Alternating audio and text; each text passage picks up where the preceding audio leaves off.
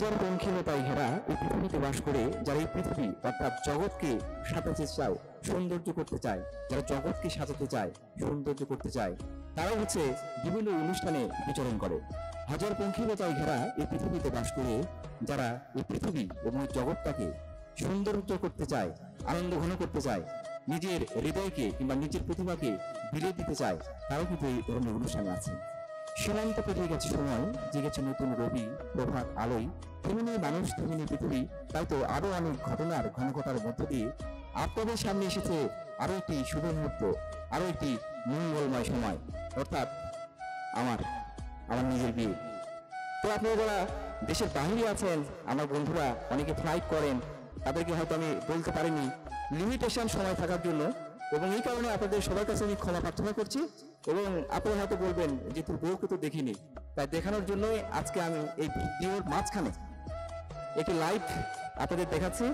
তো আমি যাকে বিয়ে করেছি, তিনি হচ্ছে অনন্যা রায়। আমার সহধর্মিনী হয়েছেন। তাকে পরিচয় করে দিই। অনন্যা রায়, আমার সহধর্মিনী। এই বারো তারিখে বিয়ে হচ্ছে তো আপনারা যারা দেখছেন যিনি ভিডিও করেছেন শুট করেছেন, অত্যন্ত দক্ষ ক্যামেরাম্যানের মাধ্যমে এটি শুট হয়েছে।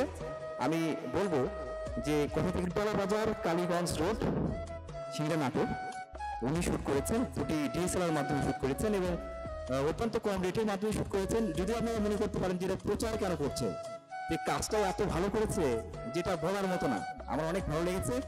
আমার দক্ষ ক্যামেরাম্যান যিনি রতন রায় ছিল, শিবু উনি আমাকে বলেছিল যে ওরা অনেক ভালো শুট করছে এবং যার ফলে আমি এখান থেকে ভাড়া করেছি, তারা সেট সহকারে রাখবে এবং আপনারা অবশ্যই চান যে একটা সামাজিক প্রোগ্রাম যখন হয়, তখন আপনাদের মা, বোন আস্তি ভাগ্নি সবাই থাকে এবং আপনারা চান তারা যাতে ভালো হয়।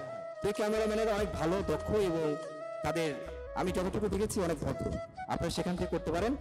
আর আমাদের দাম্পত্য জীবনের জন্য আপনারা সবাই আশীর্বাদ করবেন।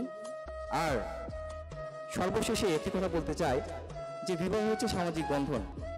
এই বন্ধন অনেক আনন্দ, উদ্দীপনা এবং ওই হুল্লোড়ের মাধ্যমে হওয়া উচিত।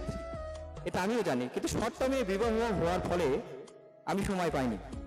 মাত্র বারো চোদ্দ দিন সময় পেয়েছিলাম এবং এর মধ্যে আমি অ্যারেঞ্জ করেছি এবং আপনাদের অনেককে হয়তো আমি নিমন্ত্রণ করতে পারিনি। অনেককে মোবাইলের মাধ্যমে জানিয়েছি, আপনারা সবাই ক্ষমা করবেন এবং আমাদের জন্য প্রার্থনা করবেন, ভগবান শ্রীকৃষ্ণ যেন আমাদের আশীর্বাদ করে এবং তার আশীর্বাদে আমাদের জীবন, আনন্দ, প্রাণবন্ত হুল্লোড়ে যেন কেটে যায়। এই আশীর্বাদ ব্যক্ত করছি এবং আপনাদের কাছে